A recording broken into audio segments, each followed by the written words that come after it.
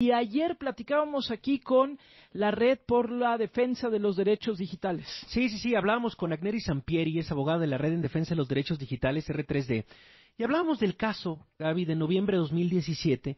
Felipe Montes, profesor del Instituto Tecnológico de Estudios Superiores de Monterrey, Campus Monterrey, fue señalado públicamente por acoso sexual a través del sitio web Acoso en la U insistimos, un caso que ya tiene, que ya tiene varios años. Y hablaba, eh, y, dentro de, la plática el día de ayer decía, y señalaba Agneris, que el profesor trató a través del INAI de conseguir los nombres de quienes fueron sus denunciantes.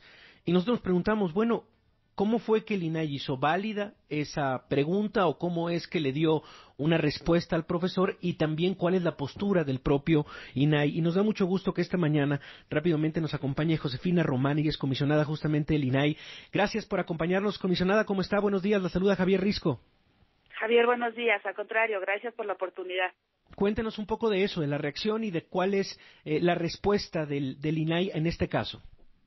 Sí, es muy importante que dejemos muy, muy claro que desde el INAI nunca se ordenó de ninguna manera a la asociación R3D eh, la entrega de alguna información de terceros que no fuera exclusivamente la del profesor. El titular ah, de estos datos personales acudió al INAI porque hizo una solicitud a R3D de acceso a datos personales solo a sus datos personales. También pedía en esa solicitud la cancelación de sus datos personales, no de otras personas como pudieran ser denunciantes. Lo que pasa es que R3D a esta solicitud no dio ninguna respuesta. En México sabemos que hay legislación en materia de protección de datos en posesión de particulares, como es eh, R3D, nunca le dio una respuesta. Como no hubo una respuesta, acude al INAI y nosotros lo que hacemos en términos de la propia legislación es pedirle a R3D que le dé una respuesta, la que sea. La respuesta puede ser no.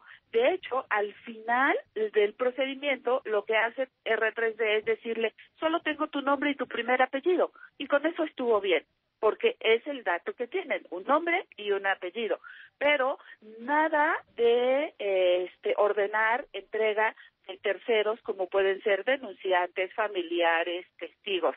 Esto debe quedar muy claro. Y otra cosa, tampoco de ninguna manera se ordenó por parte del INAI la cancelación de algún registro de denuncia o algún otro registro que tuviera R3D.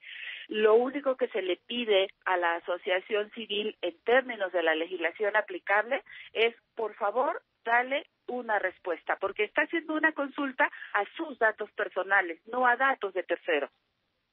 Ya, comisionada, te saluda Gabriela Barkentin. Entonces, aquí es, este, este, es, un es un tema importante, es decir, este digamos hay una persona, en este caso hay este este este hombre, este masculino dirían en, en, en la jerga, este solicita a a, la red por la defensa de los derechos digitales, ¿qué es lo que le solicita? Es que ahí es donde no nos, no nos termina de quedar claro. En, en México, eh, para ejercer los derechos ARCO, denominados eh, coloquialmente, es un acrónimo de acceso, rectificación, cancelación y, y oposición al tratamiento de mis datos personales. Entonces, esta persona acude a la asociación civil para tener acceso a sus datos personales. La respuesta era muy simple, porque eh, tenían solo el nombre. De hecho, hay una denuncia pública y entonces los datos personales que tengo de esa persona solo es tu nombre. Esa es la respuesta. Pero adicionalmente dijo, oye, y lo que tengas de mis datos personales, cancélalos. Evidentemente no procede la cancelación porque existe simultáneamente el derecho a la información, el derecho a la verdad, el derecho a la memoria. Entonces, evidentemente no se cancelan datos personales.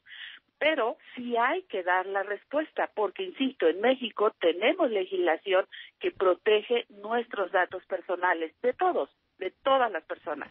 Entonces, ese fue el, el punto que nos llevó a INAI como intervenir, porque ante la falta de respuesta acude al INAI para justamente decir, oye, no me está contestando, me tiene que contestar.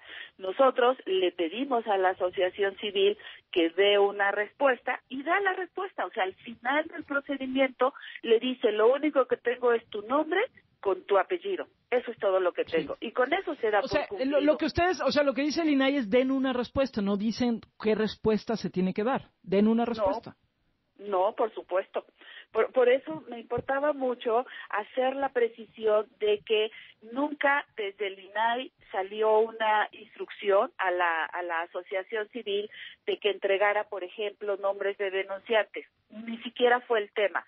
Y desde el INAI, bueno, eh, somos muy sensibles al, tema de igualdad de género, las resoluciones con perspectiva de género. Esta no es la única, el único caso, este, Gaby, es importante también señalarlo. En casos anteriores, en el INAI siempre hemos sido respetuosos de eh, la igualdad de género y hemos sido cuidadosos de resolver con perspectiva de género.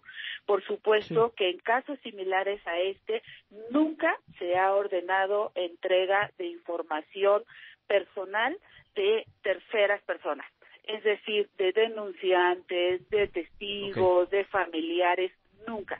Y por otro lado, tampoco en ninguna resolución anterior ni en esta se ha ordenado la cancelación de esas denuncias, tampoco.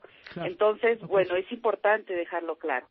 Bueno, pues Ahora, Entonces, eh, la, la, segunda etapa es que como nunca contestaron, no atendieron, no se cumplió la ley de, de, de protección de datos, desde el INAI iniciamos un procedimiento para sanción, es sea procedimiento de inicio de sanción.